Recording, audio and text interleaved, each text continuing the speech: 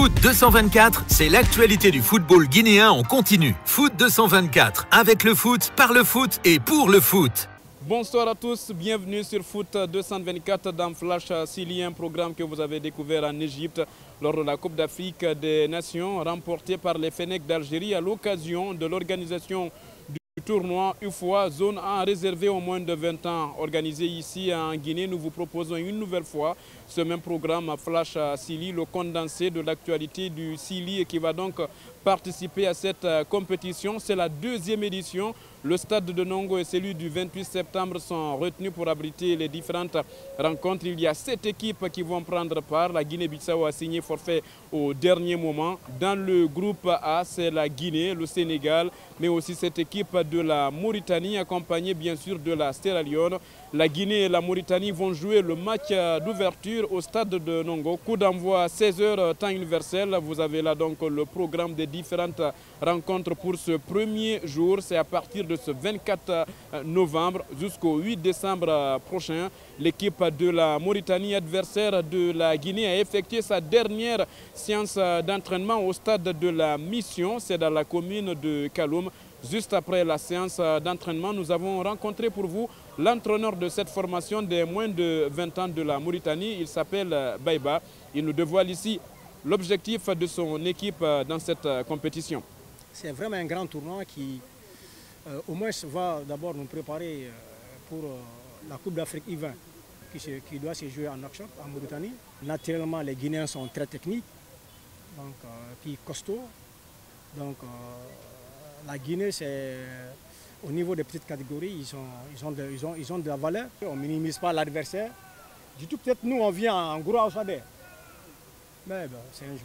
Vous l'avez donc entendu, Baïba va jouer contre cette équipe de la Guinée, une équipe guinéenne qui va être dirigée dans ce tournoi par l'ancien international guinéen Diambobo Baldé. Il n'y a pas eu de conférence de presse d'avant-match, mais nous avons pu rencontrer l'ancien numéro 5 de cette équipe de la Guinée. Diambobo Baldé nous parle ici de l'objectif personnel qu'il cherche dans cette compétition réservée aux moins de 20 ans que la Guinée abrite. Je suis dans, la qualité du travail qu'on va pouvoir faire avec les jeunes et surtout qu'ils arrivent à comprendre le message qu'on veut leur faire, qu'on veut leur donner, les conseils qu'on veut leur donner, euh, ce qu'on veut mettre en place. C'est le plus important, il est là, la compréhension de ce qu'on veut faire comme travail. Le résultat, ça reste s'il y a un bon travail, s'il y a une bonne compréhension, donc ça sera des bonnes séances et une bonne progression et ensuite le, les résultats de, devraient suivre. Moi, l'objectif, ce n'est pas la victoire, c'est la qualité du travail qui est plus important. Cette qualité-là amènera des victoires et des résultats. Diambobo Baldé, vous l'avez donc compris, c'est l'entraîneur des moins de 20 ans de cette équipe guinéenne. Il est assisté par Sekou euh, Somparé, mais bien avant le début de cette compétition des moins de 20 ans, plusieurs informations ont fait allusion à un départ de Diambobo de la tête de cette équipe de Guinée. Nous l'avons interrogé, il nous a confirmé qu'il n'a pas encore signé son contrat. Mais pour lui, ce n'était pas le plus important. L'essentiel, c'est de répondre à cette euh, invitation de la Fédération guinéenne de football pour encadrer une équipe de jeunes. Une offre a été faite, c'est-à-dire qu'on me propose le poste et que moi, je viens exercer un travail en tant qu'entraîneur, sélectionneur de l'équipe nationale des moins de 20 ans. Donc je suis là, je fais mon travail, c'est une bonne chose. Tout le reste de régler des petits problèmes, ça c'est rien. C'est des problèmes qu'on règle au niveau de la paperasse, c'est rien. Le plus important, c'est de pouvoir accompagner les jeunes, de transmettre ce que moi j'avais envie de transmettre à la jeunesse guinéenne, donc notamment les moins de 20 ans. Je pense que le plus important, il est là. Le reste, c'est que des, papiers et de la paperasse.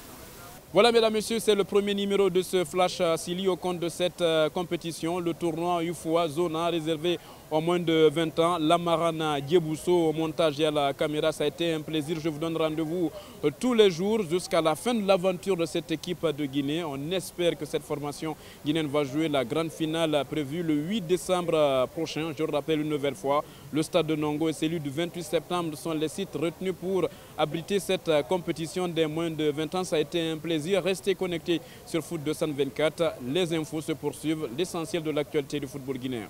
Foot 224, c'est l'actualité du football guinéen en continu. Foot 224, avec le foot, par le foot et pour le foot.